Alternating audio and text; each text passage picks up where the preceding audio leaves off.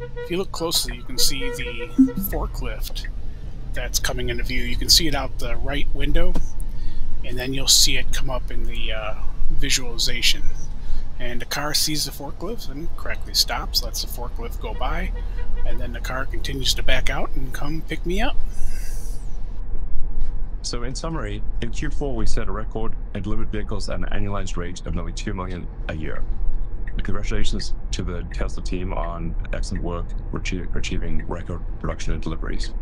Model Y was the best-selling vehicle of, any kind for 2024. That's worth noting. Not just the best electric vehicle, the best vehicle of any kind on Earth. Number one was Model Y. Uh, we're staying focused on maximizing volumes and doubling down. Well, I was going to say doubling down on autonomy, but really it's like autonomy is like 10xing things, frankly. Doubling is not even enough. You know, for a lot of people, they're like their experience of Tesla autonomy is, is like, if, if it's even a year old, if it's even two years old, that it, it's like meeting it's like meeting someone when they're like a toddler and thinking that they're going to be a toddler forever.